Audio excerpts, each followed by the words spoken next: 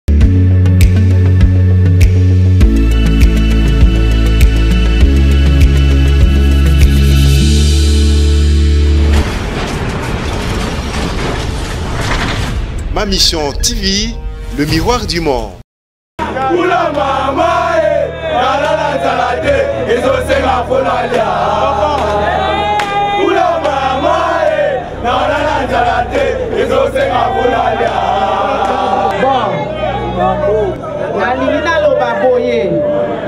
kobanda lelo awa tozali na komine ya kasavubu na,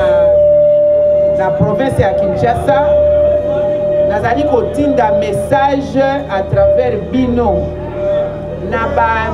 militante mpe militant nyonso ya mlc koloba boye soki oyo ayebaki te soki oyo ayokaki te soki oyo amonaki te ayeba amona mpe ayoka mouvement de libération du congo oyo ekambami na ndeko mwana mboka jean pierre bemba gombo kobanda lelo tozali kokamba mboka tozwi eteni ya pouvoir tozali lisusu na opposition te tozali na majorité mingi bozali komituna ndenge nini tolongwe na opposition tokomi na majorité nazali koloba na bino sikoyo en tant que secrétaire général ya mfc tokendeki na maponami na 2018 tobundi tolongi makambo elekaki ndenge tomonaki totali mbula liboso eleki tozoobserve tolobi soki eza mokano ya nzambe biso tondimaka nzambe totalela Parce que les voix de Dieu sont insondables. Voix ya Nzambe okoyeba te. Olobi ezala ebandaki ndenge nini to gagner mais to sala te. Mbula liboso eleki. Mbula mibale eleki. Biso tozali ONG te. Parti politique ebundaka mpo ezwa pouvoir mpe ekamba. mlc viva tozali sendika te sendika nde babundaka kaka condition ya basali ezala bien me bazala baemployer te to bakamba te biso toza parti politike toza na baprojet kitoko mpo na mboka oyo mayele wana tokoki kobomba yango na se ya mesa te mayele wana mpe mikano wana tokobomba yango na sanduku te tokokufa mpe na yango na motema te na miniti oyo mlc ezali na kati ya idps tosangani na idps tokomi moto bo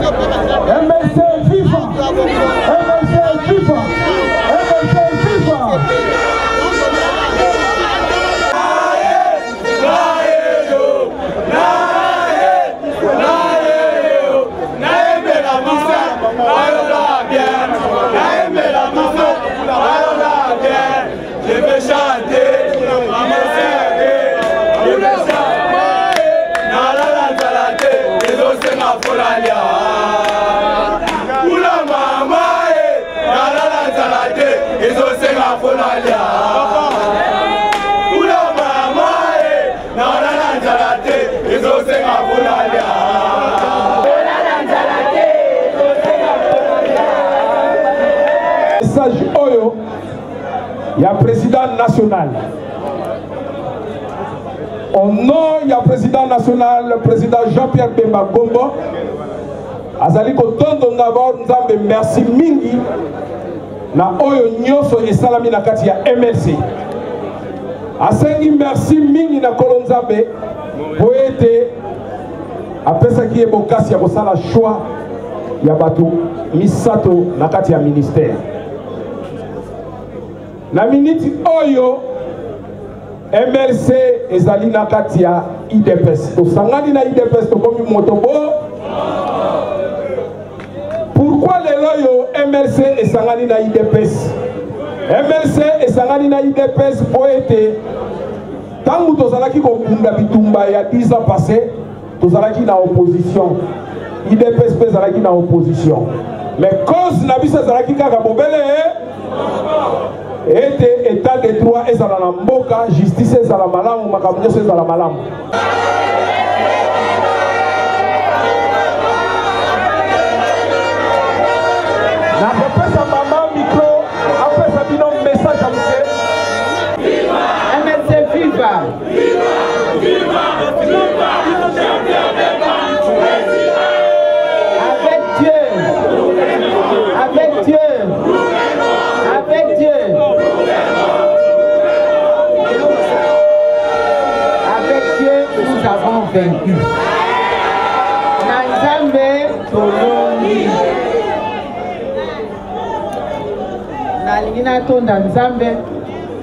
napesa mpe bino merci mpo na ndenge boye ebele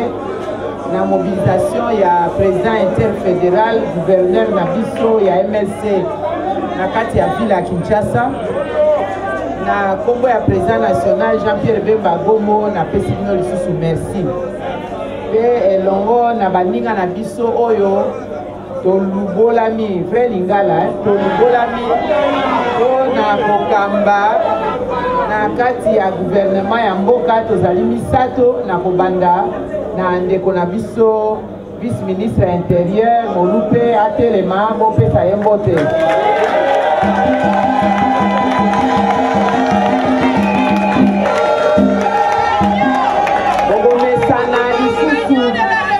Merci beaucoup. Bokomesana lisusu aza compagnon de la liberté. Bokomesana lisusu komona ye mpo na baye bayebi malamu te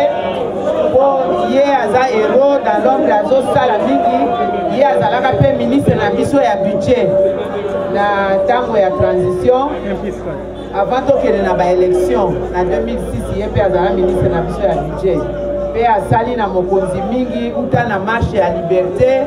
Kino bakomaki awa na Kinshasa mpe tozali ntango nyonso elongo. Azalaki mpe kosala na vice-presidence lokola conseiller ya makambo ya budget epai ya mokonzi avant akoma ministre ya budget. Bongo tozali kozela Dr Jean-Jacques Mbungani oyo azali ministre ya sante tobetela ye mpe maboko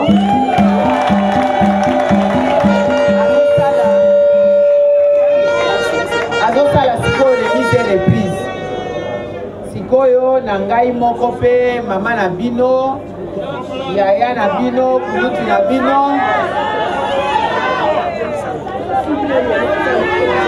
mlc viva mlc viva boyebi nga to boyebi nga te napesa kombo bon nalingi naloba boye kobanda lelo Awa tozali na komine ya Kasavubu na, na province ya Kinshasa. Nazali kotinda message à travers bino na ba militante mpe militant nyonso ya MLC koloba boye soki oyo ayebaki te soki oyo ayokaki te soki oyo amonaki te ayeba amona mpe ayoka mouvement de libération du congo oyo ekambami na ndeko mwana mboka jean pierre bemba gombo kobanda lelo tozali kokamba mboka tozwi eteni ya pouvoir tozali lisusu na opposition te tozali na majorité mlc viva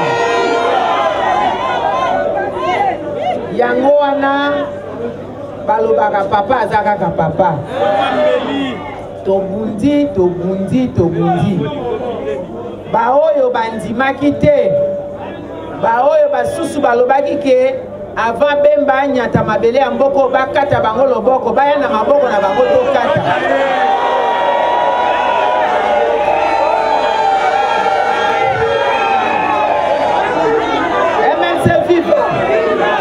bamosusu balobaki seki atandi bemba atandro longtemps est ce que tozeli longtemps ata butu eyindi ntango etanaka te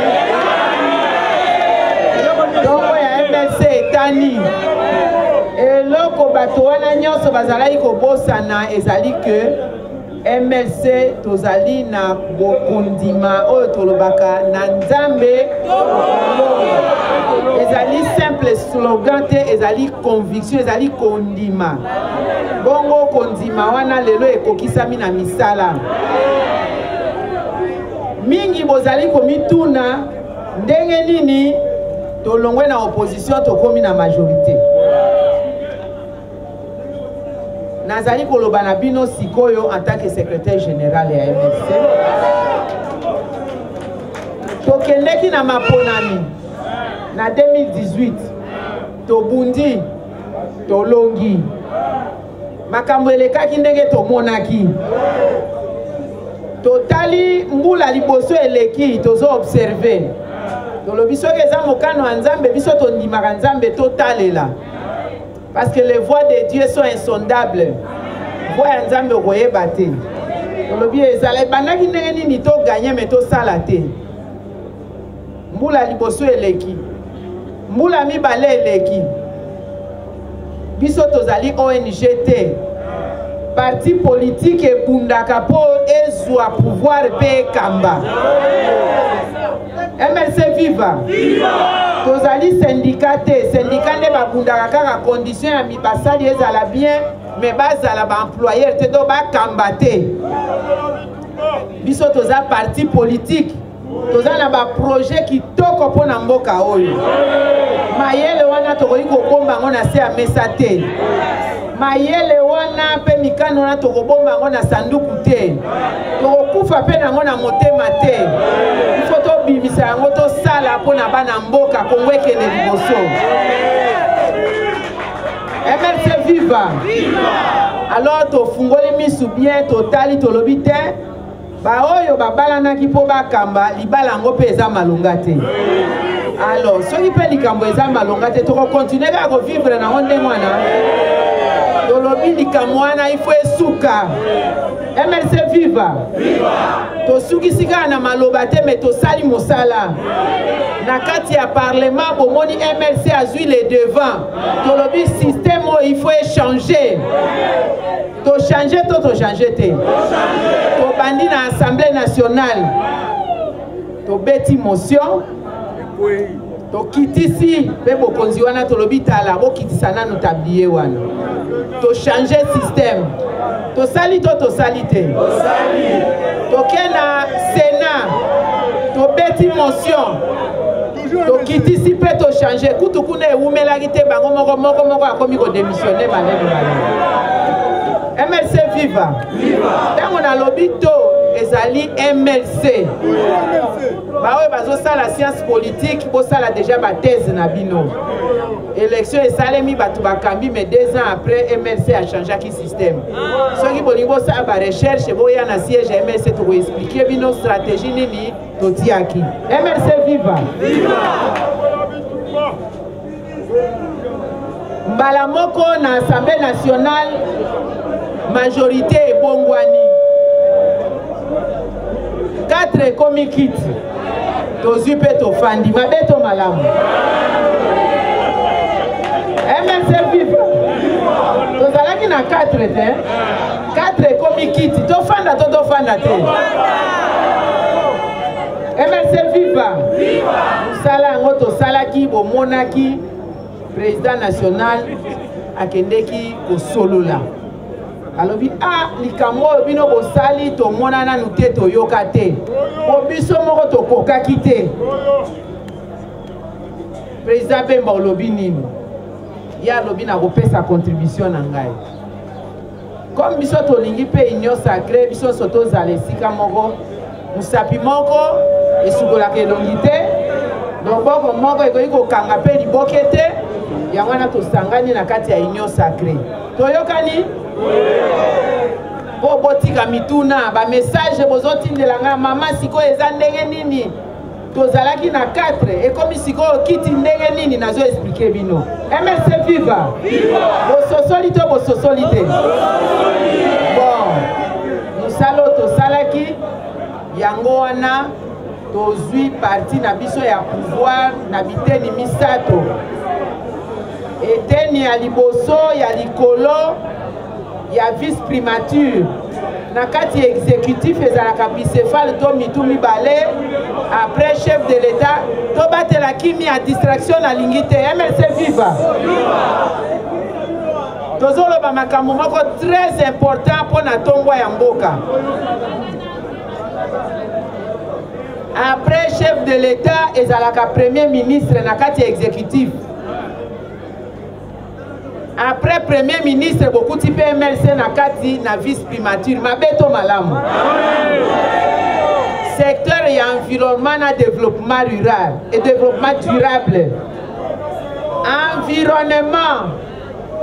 nzinganzinga nde boniboni tokobika kita oyo nzambe apesi biso bokonzi bomengo oyo nzambe apesi biso ya zamba ya ebale mai mpe biloko nyonso eza na kati na oyo babengi biodiversite bafololo banzete banyama milona ndenge na ndenge na se ya mai mpe na mipepe na mipepe mpo gaz eza na kati ya eh? bacarbone nyonso wana eza richesse na biso esengeli to bénéficier na yango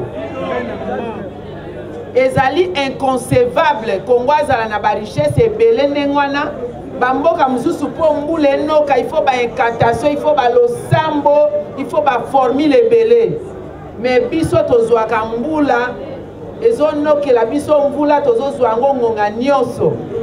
mboka mosusu okoki komona ebale te biso okotambola osali 80 km 80 rivière ruisseau mrc viva il faut tobénéficie na yango toza bato oyo toza na zamba ebele Zamba na biso babengi yango bassin du Congo epalangani na Afrique centrale mobimba kasi 60% eza epa na biso. Soki okalikile bazamba ya Afrique mobimba 47% eza epa na biso. Tozali na oyo mai mabe to mai makomela babengi eau douce ebele mokili mobimba bakoma otia liso epa na biso bongo biso moko tozanga mai eske eza normal ya komela biso moko tokufa nzala to importe loso masangu nguba mbila eske eza normal yango wana secteur ya gestion ya zamba na biso mpe mai kita wana nyonso mpe oyo eza na kati eza confie na mlc bopeto mpe bokolongono bwa mboka eza confie na mlc bopeto na environnement bokolongono bwa mboka na bato ya sante bakonfie yango na mlc tozolela mingi ya insécurité na ba grand centre ville oyo bakuluna mpo na bozangi misala makambo ebele soki otali mpe barebelio ndenge na ndenge badesordre na mboka une partie ya sécurité mpe eza confie na mlc mabe to malamu bongo na nkombo ya président national jean pierre bemba oyo apesi biso confiance alobi oyo ye apesi na biso misato ezali lokola apesi na bamilitante nyonso ba militaire responsabilité ya kokamba mboka ndenge totelemaki na mlc ngwi atako babundisi biso mipepe na bambonge totelemi ngwi aye mpe akomi awa akuti bato ndenge atikaki biso toleki meme nombre totelema bongo mpo na kokamba mboka soki boyoki mikano ya guvernema mipesami ndenge eyambemi bosutenaki na assemblée nationale premier ministre samalukonde ayaki kopesa programme ebongi to akompagne yango soki boyoki mpe epesami na niveau ya présidence de la république président de la république alobi tokomi lelo lisanga moko système échange environnement politique mpe échange tosalela yango to accompagne bamilitante mpe bamilitant mlc viva, viva. na secteur oyo ya biso na sécurité na kobanda nanu wana epai ya ndeko vice ministre ya intérieur tosengeli kodenonse monguna nyonso desordre na quartier toboyi kuluna toyokani militante nyonso mpe militant ya mrc azala kosunga police nationale na information esika ba fauteur de trouble bazali tokobunda mpo misala emonana bana na ngai soki mosala ya kuluna nde bozwaki mpo olia kwanga aparti ya lelo tozomibunda mpo bozwa misala tika kuluna jean pierre bemba akoti na terrain mpo na kokamba mboka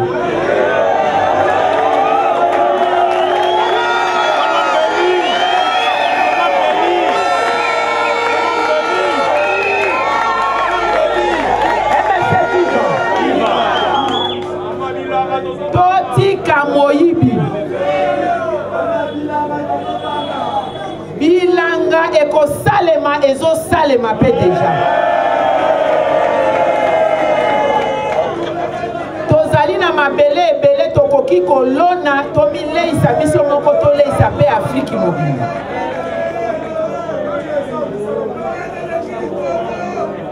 mlc viva, viva. toyokani ke mlc akozala quartier moko moko avenue moko moko chaque lopango boteya bamama na batata soki mwana na yo azali kuluna atika mosala ya kuluna tolingi developema ya mboka nazo insiste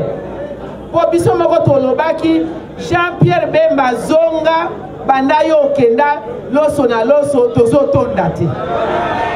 bongo aye na terrain abandi mosala à travers badelege na ye na gouvernement toboyi desordre nalobi te ke bino boza bato ya desordre nalobi nde bozala baagent ya ordre koaccompagne police nationale mpo na sécurité ya bato tolingi kini ezonga to bagrande ville na biso ntina province tozonga ndenge tozalaka tozalaka na biso bato ya ambiance ya koseka ya kosepela makambo akebakeba bobotolaka bamama baperike toboyi bacombo toboyi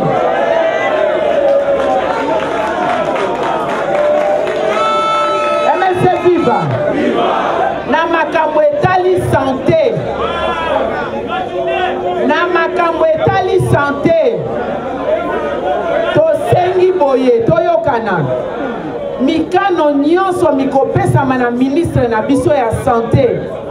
mpo na komipekisa na makono minene to bamaladi ya minene minene lokola malaria soki oboyi ngungi boya nanu bosoto msc viva tata mama mokolo mwana moke esika bakotia poubele okobwaka matiti kuna ya poubele soko omoni moto alekasa ya kwanga abwaki na balabala landa ye yo oza incivike toboyi makambo oyo na congo mpo lobi salite oyo na bamai ya mbula ekomemela biso bangungi mpe maladi toyokani bamesure ya hygiène ezonga na congo mobimba mpo responsabilité na ye ezali hygiène mpe prévention ya makono ma maladi wana ezali docteur jean-jacques mbungani ezala makambo ya kolite contre covid-19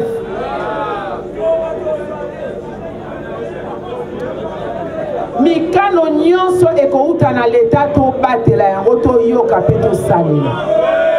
mpo soki ozali na sante malamu te rien ne peut aller msf viva Na makambo ya environnement, tango tokobanda assainissement ya ville, baizini oyo nyonso ezosala soki basashe soki bamilangi ya plastike ezobebisa bamai na biso tokozwa mikano minene minene par rapport na yango mlc viva mpe biso moko tobanda nanu bopeto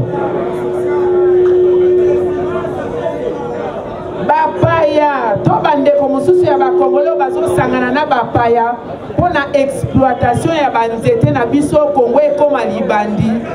sans suki bakeba bana na biso bazotanga bafandi na mabele banzete na biso ekoma osala circulation kobima kokende libanda ya mboka en desordre ordre ekokota mpo kongo babeneficie na kita na bango emerse vive mibeko ebele ebele ekoya na nzela wana ya environnement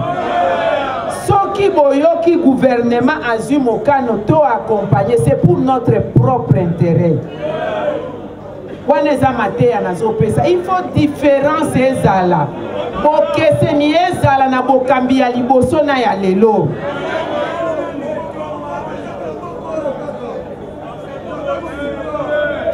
bokeseni ya bokambi ezala ekoki kozala posible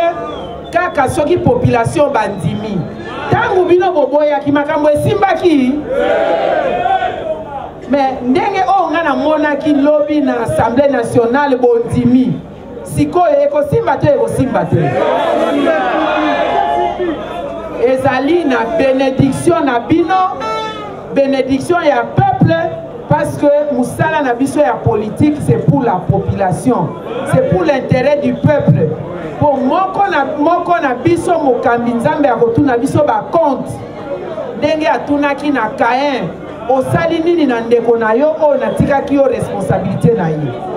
oza président de la république nzambe akotuna yo bakonte mpo na congo oza premier ministre nzambe akotuna yo bakonte oza ministre vice ministre biso sikoyo tozwi engagement tokamba bino mpe peuple Bo accompagner biso. Toyokani? Toyokani? Vraiment nasengi bino na bondeli na bino bana ya MLC bamama batata boyeba lokola biso tokoti masolo yango lokola mrc akoti masolo yango ifo différence bokeseni ezala La voix du peuple c'est la voix de Dieu. Bato oyo balobaka na bino à César ce qui est à César, à Dieu ce qui est à Dieu tondimi. Kasi Congo eza ya César te, Congo ezali ya Nzambe. Alors biso tokosalela yango conformément na volonté ya Nzambe peuple na ye ce n'est pas pour rien Nzambe atondisaki bomengo na mboka oyo alingaki ba congolais ba vivre bien toyokani voilà naza vraiment na esengo monene ke message oyo napesi na konti ya mlc na nkombo ya bakambi ya mboka nyonso oyo bapesi biso confiance message oyo ekotambola mpe tokosalela yango a partir ya lelo bato bakobanda ovivre changement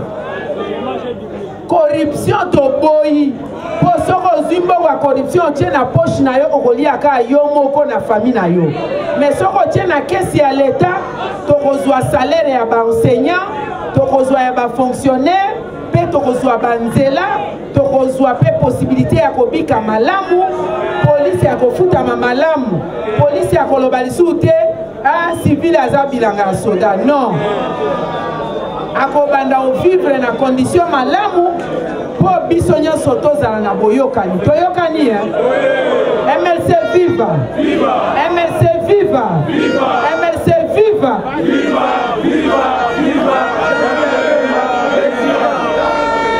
merci mingi natondi bino botondi mpe ezali mokolo ya esengo tolela mpe mingi nzambe ezongisa bemba nzambe azongi tozwa bokonzi tozwi mpe bokonzi lelo eza mokolo ya kotonda nzambe mpe kosepela ozwi mwa kopo na yo omeli kofinga te kotonga mutu te kobunda te ozongi na ndako malembe malembe tokoswana te na general kasongo tokotala ngonga toyokani merci beaucoup mère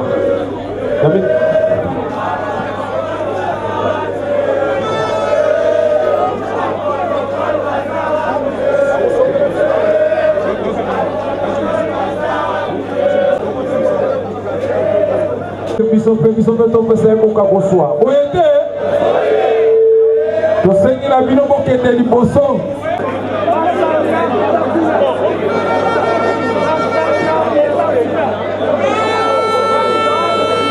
tozonga na nsima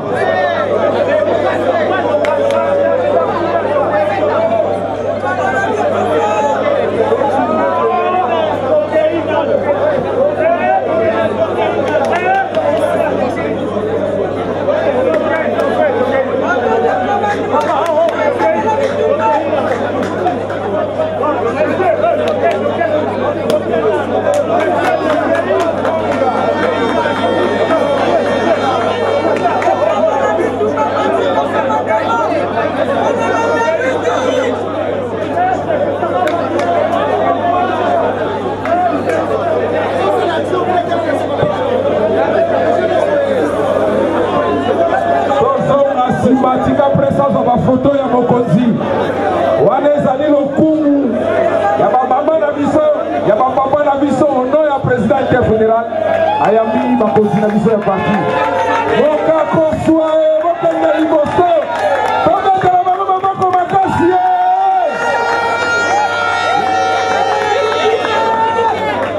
voilà merci mama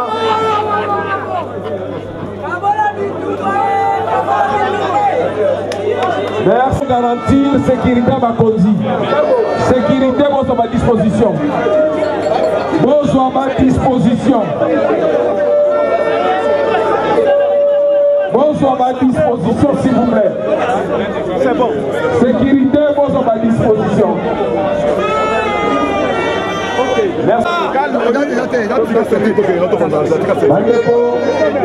mopesa miziki mwa moke mpona kopesa bango revoir bongo toyo bandinga kopanzana awa